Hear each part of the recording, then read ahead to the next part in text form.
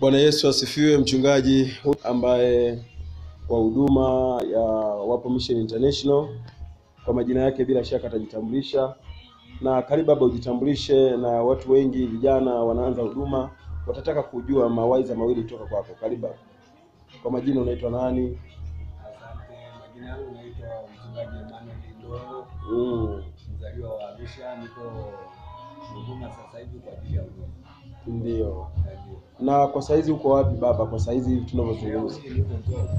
Ndio, ndio.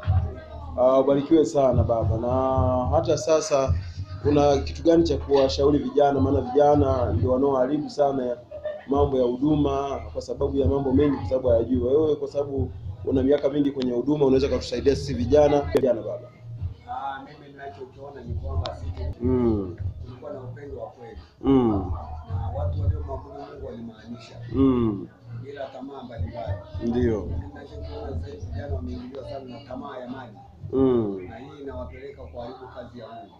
mm, na wanashawishika kutumiwa na shetani Ndio. nguvu mbaya za giza mm, kwa ili tu wapate mafanikio. ndio. Mwanzo kabisa wa kanisa wa mitume Mm, kuangalia mali wala nini, waliangalia neno la Mungu linawataka wafanye nini. mm, Ndicho kilichofanya Mungu akatukuzwa sana.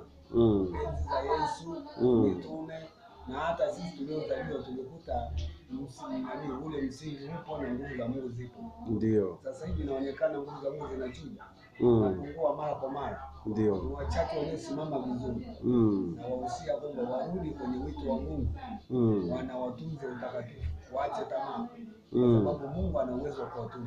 ndio. Ndio Ah, ubarikiwe sana baba. Na vijana wanataka kujua kwamba vitu viwili vitatu vya kuzingatia katika imani.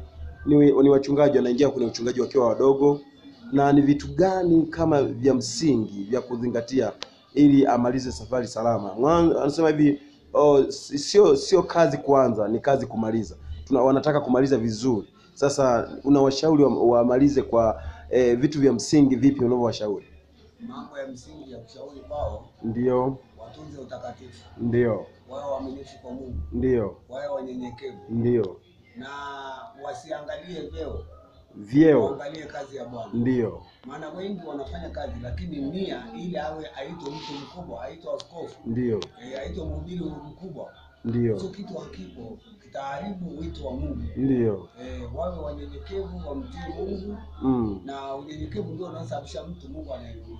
ndio, Eh, ndio. Tunashukuru sana sana baba. Huyu anaitwa baba uh, baba yetu mchungaji Ndolo toka pale Songea na uh, ni mzaliwa wa Arusha.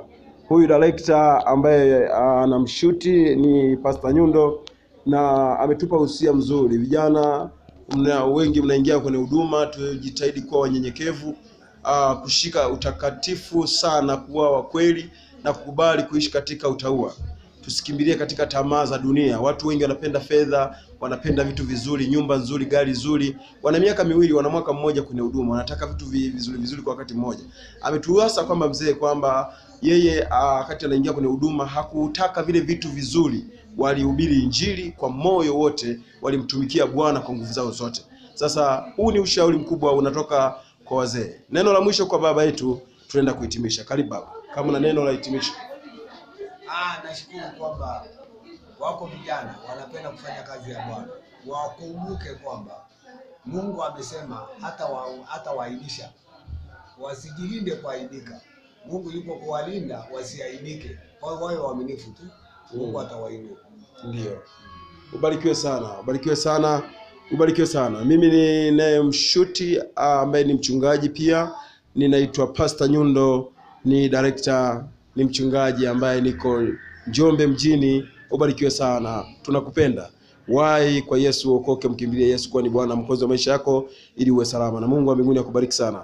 Tupo kwenye studio ya director mkubwa sana Njombe, ambaye anatishia sana wa madirekta wenzie sana, anaitwa Sniggers Wellers Production. Ni kijana ambaye Mungu amempa kipaji cha ajabu sana. Tupo hapo tukawa tukawa tuma, tumepata mawili matatu kwa ajili ya kuzungumza kama interview, lakini ni kijana ambaye tishio sana Njombe kwa director, yani ni hatari. Barikiwe sana, Mungu akubariki sana.